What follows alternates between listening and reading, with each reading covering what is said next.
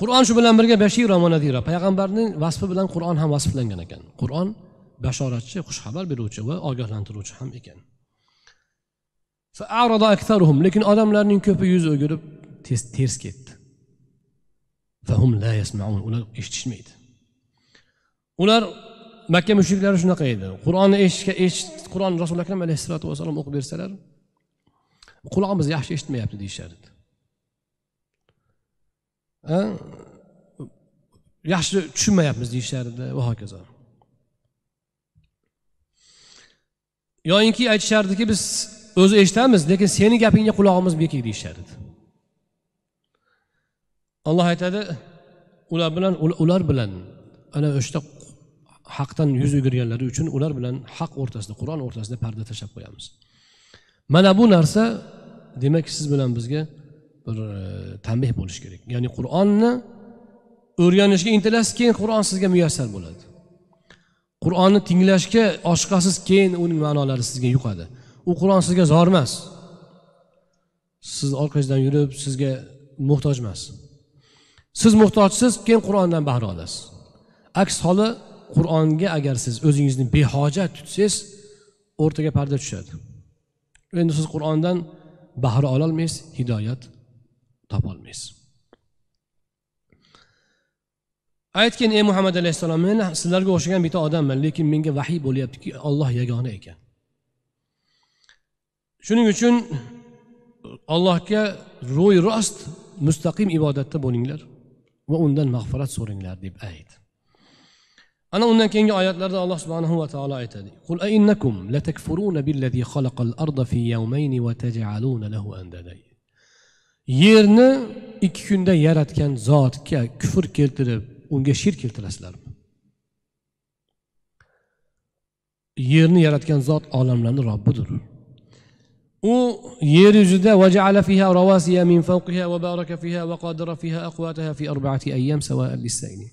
olloh yer yuzida tog'larni yaratdi konlarni hamma narsani yaratib rizqlarni yaratib barakotga to'ldirib qo'ydi.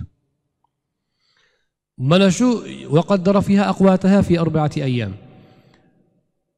yer yuzidagi rizqlarni olloh to'rt kunda hammasini o'lchovli qilib qilib qiyib pichib qo'yib yaratib qo'ydi.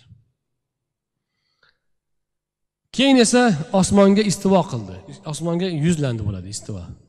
Ila bilan kelsa yuzlandi bo'ladi. Ya'ni yerni yaratib osmonga ham alloh subhanahu va taolo o'zining demak e, hukmini o'zining qudratini qilmoqchi bo'lganlarini yo'naltirdi. Vahiya duxon osmon o'sha vaqtda tutun edi mana hozir ilm fan gaz deyapti. U osmon tutun edi tutun holatiga osmonga olloh istivo qildida sen bilan yer yo majburiy ixtiyoriy majburiy menga itoat qilinglar. Dedi olloh ularga. Ular atayna toin parvardigor biz senga itoatdamiz deyishdi. Bu oyatdan ma'no nima? Alloh subhanahu va taolo o'zi yaratgan jismlarni xohlasa xohlaganiga til beradi. Xohlaganiga nutq beradi xohlaganiga fahm beraveradi. Ularga xitob qildi ulardan javob oldi. Ya'ni olloh ularni yaratdi. Ular allohni itoatidaligini demak ular e, unga iqror bo'ldi. Allohga itoatga iqror bo'ldi. Ana undan keyin olloh osmonni yettita qildi ikki kunda. Har bir osmonga o'zining buyrug'ini vahiy qildi. Ya'ni har bir osmonda o'zini vazifasi bor ekan. Farishtalar bor u yerda o'ziga yarasha hayot bor nimalardir bor. O'sha har bir osmonga nima kerak nima bo'lishi kerak? Olloh hammasiga o'zi uni vahiysini qilib uni demak ilhomini qilib qo'ydi. Mana shu joyda qarang oyatni o'rgansak ikki kunda yer yaraldi. To'rt kunda rizqlar tog'i toshlar bino bo'ldi e, o'lchandi rizqlar o'lchandi. Ikki kunda osmon yettita osmonni olloh rostlab qo'ydi hm, deyilyapti. Ateistlarni kitobi bor. Bu aytib beruvdimku o'sha kitobda mana shu oyat deydi boshqa oyatlarga zid deydi. Nega desa nega desa qur'onni boshqa oyatlarida yeru osmonni olti kunda yaratdim deydi. Lekin bu joyda esa qo'shsa sakkiz kun bo'lyaptiyu deydi. Nima deysizlar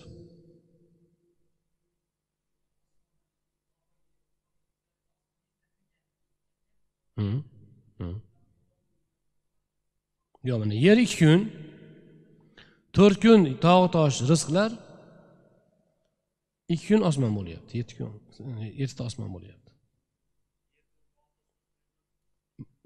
Mana shu- gap bu bunga katta fahm kerak emas o'zi asli. Lekin anavi ayb topaman degan odam uh, javraveradiku alloh subhanahu va taolo yerni yaratdi deganda yerdagi bor hayotni yaratishni ham nazarda tutgan oldingi oyatda ikkinchi oyatda esa shuni tafsiloti bor. Yerni yaratdi ikki kunda lekin uni tog'i toshlari va hokazolari bilan qo'shilsa to'rt kun ketdi. Rizqlarni o'lchovlari bilan qo'shilsa to'rt kun ketdi. Shunda ikki kun osmonga osmon yettita osmonni yaratilishiga bo'ldiyu va olti kunga demak bu ham to'g'ri keladi. Endi bu kunlar qanaqa kun? Nega olti kun? Nega bir kun emas? Alloh biladi. O'zi o'zining ishi allohning o'zining ishi o'zini qudrati.